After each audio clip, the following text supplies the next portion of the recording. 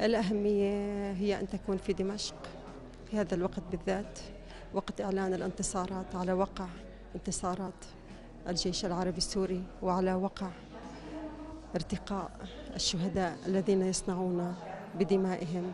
نصرا وراء نصر في هذا البلد الحبيب. خصوصيتها أن تكون في أبو رماني آه، ستكون نصوص آه، طبعا مختلفة آه، المواضيع حتما. لكنها على الأغلب وفي المضمون ستكون وجدانية قطعا. الحقيقة أنا مطل على تجربة ليندا. ليندا تأخرت في الظهور ولكن هذا تأخر المتأني.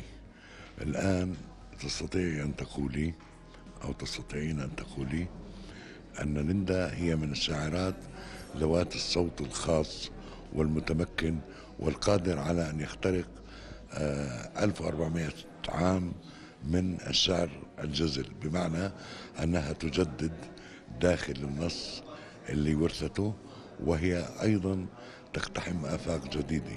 ليندا شاعرة بامتياز. وجدت أيضا أن آه، حالة الشعر اليوم لا سيما الشعر السوري آه، هي في حال جيدة وحال تدعو النقد إلى الاقتراب وإلى يعني المقاربة الجدية والفعلية على الرغم مما يقال بأزمة الإبداع وأزمة الشعر وأزمة النقد لكنني أجد أن الأزمة أحيانا هي في مكان آخر.